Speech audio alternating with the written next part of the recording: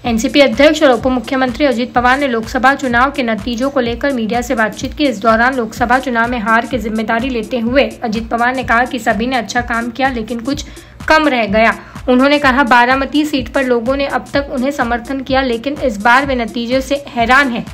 इसके साथ ही उन्होंने कहा कि उनकी पार्टी का पारंपरिक मुस्लिम मतदाता भी उनसे दूर हो गया है। एनसीपी अध्यक्ष और उप मुख्यमंत्री अजित पवार ने लोकसभा चुनाव के नतीजों को लेकर मीडिया से बातचीत की। इस दौरान लोकसभा चुनाव में हार की ज़िम्मेदारी लेते हुए अजित पवार ने कहा कि सभी ने अच्छा काम किया, लेकिन कुछ कम रह गया। उन्होंने कहा, बारामती सीट पर लोगों ने अब तक उन्हें समर्थन किया, लेकिन इस बार वे नतीजे से हैरान हैं।